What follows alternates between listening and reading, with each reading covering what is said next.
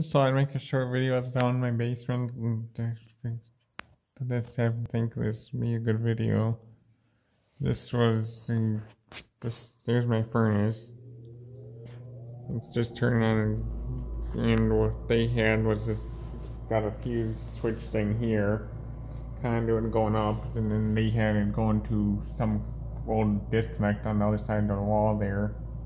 I undid that. It was pointless, and there was bad wire and everything else. Thermostat wire going up with it. And what I did, I have enough wire here I could hardwire it if I wanted to. 12 2 wired, it's a 15 amp circuit though.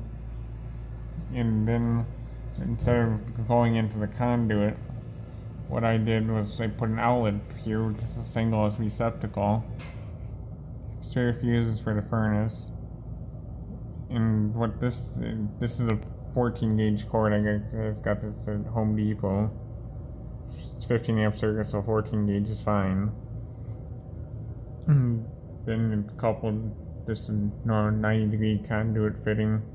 This goes down to the switch down here.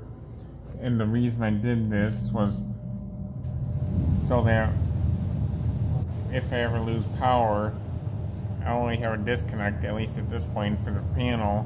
So worst case, I can run the furnace, fridge, freezer, sump pump.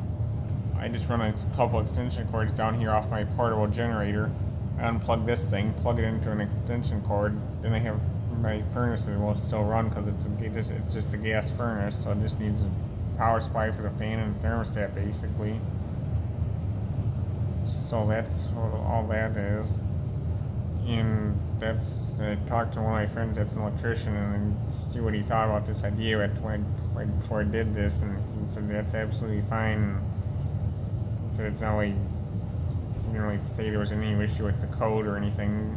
I online I saw hidden misinformation on whether you could do this. A lot, a lot of people were asking this, and